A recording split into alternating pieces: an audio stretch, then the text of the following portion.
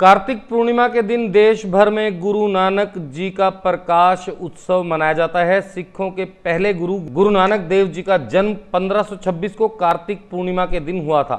सिख धर्म के अनुयायी इस दिन को प्रकाश उत्सव व गुरु पर्व के नाम से मनाते हैं। सिखों के प्रथम गुरु गुरु नानक देव जी को इनके अनुयायी नानक नानक देव जी, बाबा नानक व नानक शाह नामों से संबोधित करते हैं। लद्दाख व तिब्बत में इनको नानक लामा के नाम से भी पुकारा जाता है। नानक अपने व्यक्तित्व में दार्शनिक, योगी, गृहस्थ, धर्म सुधारक, समाज सुधारक, कवि, देशभक्त, विश्वबंधु सभी गुणों को समेटे हुए थे।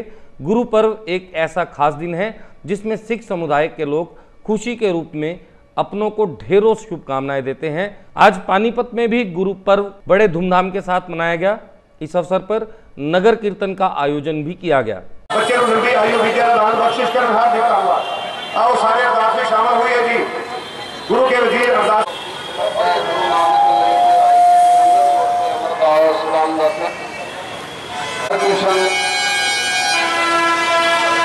ਕਪੀਆਂ ਜਿਨ੍ਹਾਂ ਨਾਮ ਜਪਿਆ, ਵੰਡ ਛਕਿਆ ਦੇਖ ਚਲਾਈ ਦੇਖ ਵਾਹੀ।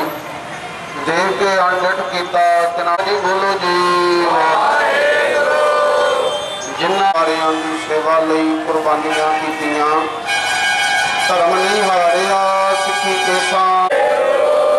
ਪਰਿਤ ਮੈਂ ਸਰਬੱਤ ਖਾਲਸਾ ਜੀ ਦੀ ਅਰਦਾਸ ਹੈ ਜੀ ਸਰਬੱਤ ਖਾਲਸਾ ਜੀ ਕੋ ਵਾਹਿਗੁਰੂ ਵਾਹਿਗੁਰੂ ਚੇਤਾ ਚੇਤਾਵੇ ਬਿਰਦ ਕੀ ਪੈਜ, ਪੰਥ ਕੀ ਜੀਤ, ਸ੍ਰੀ ਬੋਲੋ ਜੀ ਵਾਹਿਗੁਰੂ ਸਿੱਖਾਂ ਨੂੰ ਸਿੱਖੀ ਦਾਨ, ਕੇਸ ਦਾਨ ਰਹਿ। ਮਾਤਰਾ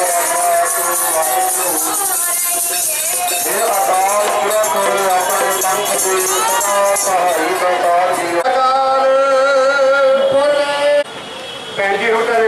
ਮਾਨ ਸਨਮਾਨ ਗੁਰੂ ਘਰ ਵੱਲੋਂ ਕੀਤਾ ਜਾ ਰਿਹਾ ਹੈ ਸ੍ਰੀ ਸੁੰਦਰ ਰੇਵੀ ਜੀ ਪਹੁੰਚੇ ਹੋਏ ਨੇ ਆਪ ਜੀ ਦਾ ਮਾਨ ਸਨਮਾਨ ਜੋ ਆਪ ਜੀ ਸੰਤਾਂ ਦੇ ਦਰਸ਼ਨ ਕਰਨ ਵਾਸਤੇ ਅਤੇ ਸਾਹਿਬ ਸ੍ਰੀ ਗੁਰੂ ਗ੍ਰੰਥ ਸਾਹਿਬ ਮਹਾਰਾਜ ਜੀ ਨੂੰ ਨਤਮਸਤਕ ਹੋਣ ਵਾਸਤੇ ਉਚੇਚੇ ਤੌਰ ਤੇ ਸਮਾਂ ਕੱਢ ਕੇ ਪਹੁੰਚੇ ਹੋ ਆਪ ਜੀ ਦਾ ਹਾਰਦਿਕ ਹਾਰਦਿਕ ਸਵਾਗਤ ਕਰਦੇ ਹਾਂ ਸਤਿਕਾਰਯੋਗ ਭੈਣ ਜੀ ਸੁਸ਼੍ਰੀ ਸੁਮੇਧਾ ਕਟਾਰੀਆ ਜੀ ਉਹ ਵੀ